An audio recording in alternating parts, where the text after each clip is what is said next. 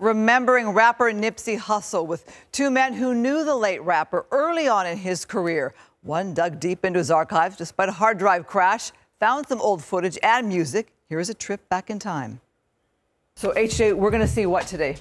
Uh, you're gonna see exclusive footage of, of Nipsey. What up, what up? Neighborhood Nip on the, homie gang video shoot. Just rap my part. About 10 years ago, uh, I got introduced to Nipsey right at high school through a mutual friend.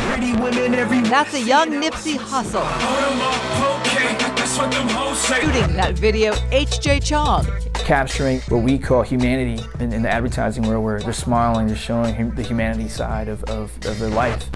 I met up with Chong.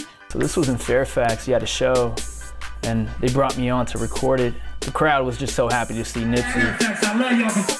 And music producer Tito Rodriguez for a trip back in time. To me, he was just like a young, young baby coming into the, you know, to the music world. Rodriguez was in a punk band when he met Hussle. We had the same management. Jonny Shipes was his manager. That manager said, I got this young rapper named Nipsey who's gonna be bigger than Snoop Dogg, who's gonna be the biggest rapper in the world. Grammy nominated. In the sign of shedding tears, all this Nipsey Hussle went on to earn a Grammy nomination, but he came up through the mixtape route. Rodriguez is even on two songs with him. One of them is like a mixtape song that's on YouTube. For LA artists, Chong became a go-to guy for behind-the-scenes videos. I created content to make sure that their promotional package was ready when they go on tour. These artists knew if they hired me, I come with a distribution pipeline. So it would get views and it would get picked up faster. This is me and Nipsey in the studio. This is this is 2010. That's you in the back? That's me in the back, yeah. Chong got his breakthrough the game. And when I went on tour with, with Game, 2011, uh, the last day on tour, I pulled it out and I said, you have to sign this for me because I bought this when I was in high school. And I, and I told myself, I'm gonna work for you. And he couldn't believe it and he signed it. Hussle and yes, that's Ty Dolla Sign was the game's opening act.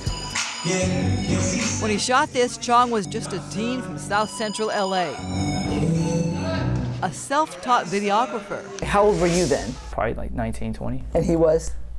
26 maybe, yeah. Chong and Rodriguez both became success stories. Rodriguez as a music producer with Long Beach royalty. I got to work on Snoop Dogg's album. Uh, it was Top Dog, No Limit. It sold a few million records. Chong still shoots. In 2015, 2016, uh, I shot and directed and edited uh, the majority of Sprint commercials for Sprint. They also founded a nonprofit in Long Beach, Local Hearts Foundation. This is their annual back to school backpack giveaway. For their Christmas toy drive, Rodriguez has been dubbed. The Hood Santa. Chong says Nipsey Hussle serves as inspiration. I realized that you don't have to be a rap superstar to do, to do what he's doing. You just have to be a member of the community and give back. Both men were shaken by Hussle's murder in March of 2019. The rapper gunned down outside his Marathon clothing store. I literally just went home.